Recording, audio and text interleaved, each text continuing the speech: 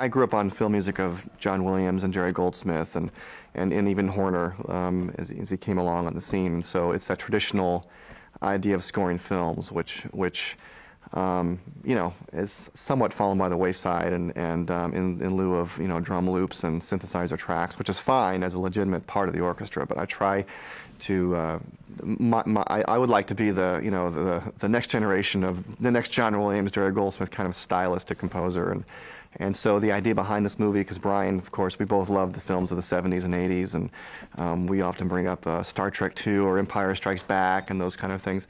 We wanted the score to harken back to that era, but still feel current today. So the challenge was how do you, how do you keep that, that scoring sensibility alive um, with, with, uh, with, strong orchestral themes for characters um, and not seem dated. So that's, that, that was the challenge to sort of, uh, again, keep that style of film scoring alive.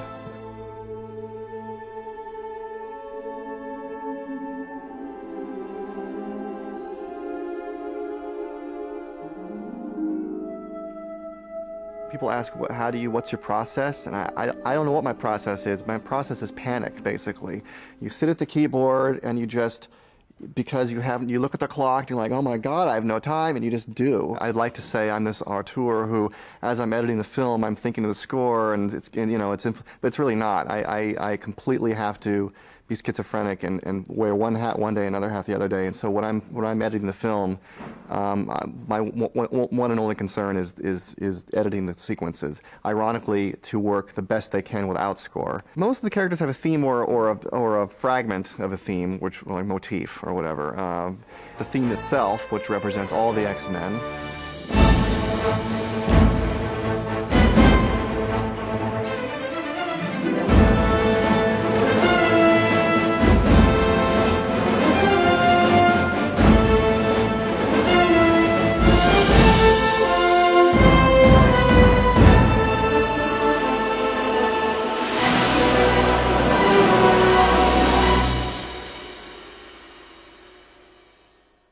Wanted to sort of bring in a little more humanity into the theme, um, but still keep the attitude the same as the as the original like cartoon series and the last film. Keep the same attitude, but kind of bring in a little more um, well humanity to, into it.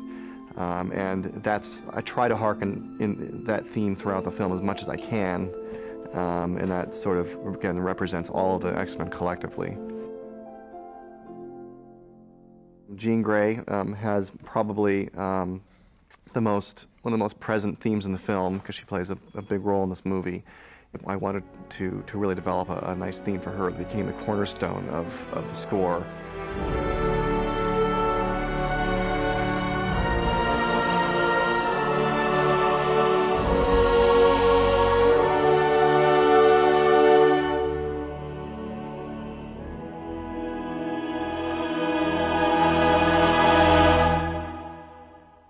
Nightcrawler has his own theme too, and he's a very tender character. You don't think that in the beginning of the film, but you realize he's a really uh, tender, um, very religious, devout um, character in the movie, um, who's he's from Germany, and and so I have some uh, some slight hints at that.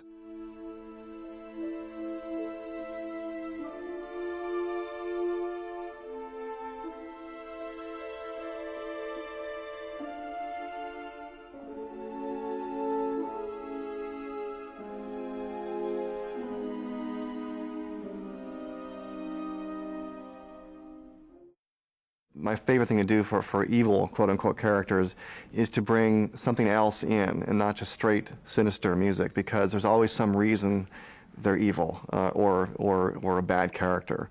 Uh, there's a character named Pyro. He's a troubled character because you get a sense that he's not had the best uh, upbringing.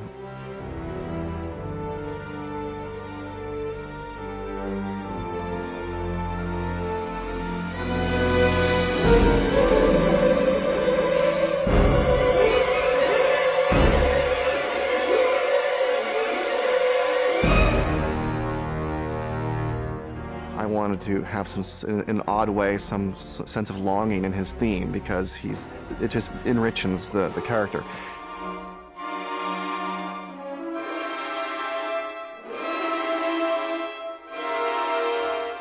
Mystique has a little motif, uh, sort of a erotica, exotic yet dark uh, thing, with, with, basically characterized by harp and um, and uh, a solo um, soloist.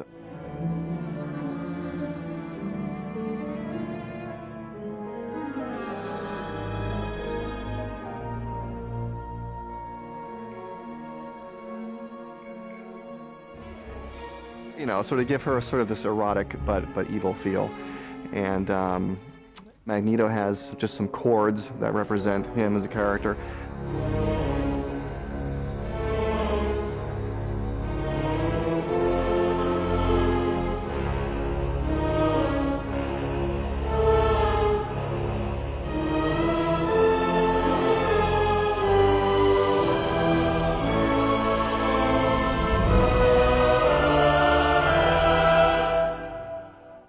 Struggle is the thematic material. The part that's fun for me is actually the orchestration and, and taking the, the theme I've written and then adding the bells and whistles, so to speak, you know, the flourishes and who does what. And that, that's, that's the fun part. And to me, that's, that often is, um, you can have the same theme, but in my opinion, four different scores just based upon how you do the orchestration. And so the orchestration's a big, a big part of it for me.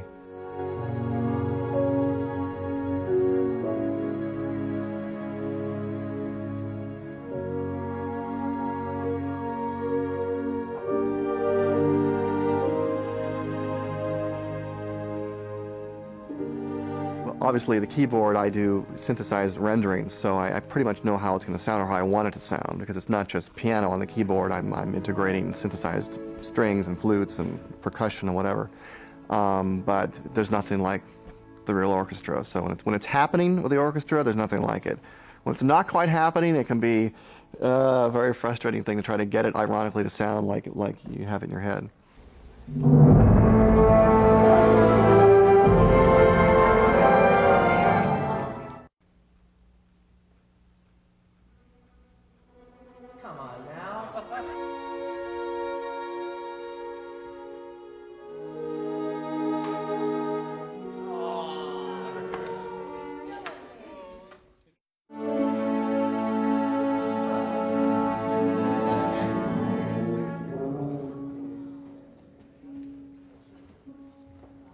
Pressure. I feel like. oh. Yeah, old friend. I'm so familiar. This is Damon, by the way. Damon, Hi. Patrick. Damon's our Meg. Everyone knows Patrick.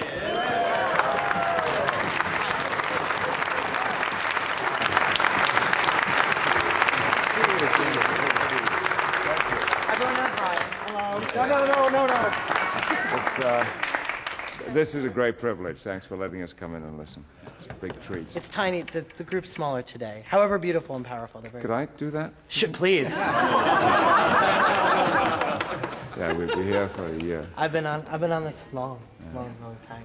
You More know, days to Damon, go. we've known since Damon. Damon was 18, and he was 19, and he was uh, orchestrating with John, and from the very beginning, and now he's conducting because he's brilliant at it. And John has no other friends, so pretty much his name. And now here comes John.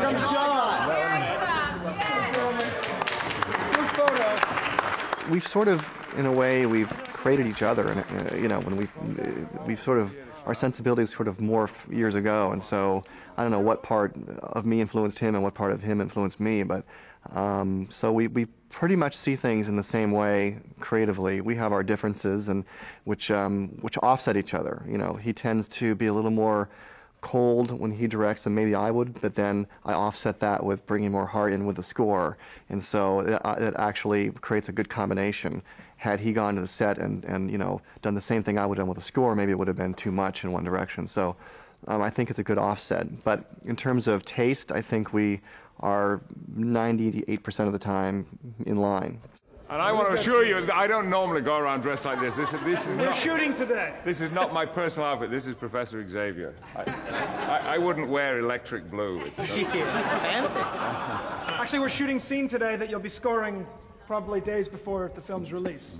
So look forward to it. It's quite a- anyway, Thank thanks you very, very much. much. Thank you for letting us be. Thank Thanks. Bye. you know, I'm a Star Trek fan, so when I would go see the original Star Trek films, it was, you know, always a pleasure because it's a, a larger-than-life experience than the original series was, and I think this in essence, is almost a larger than life experience than the first movie was because it's, it's a little wider scope in, in its in, in its ambitions as well.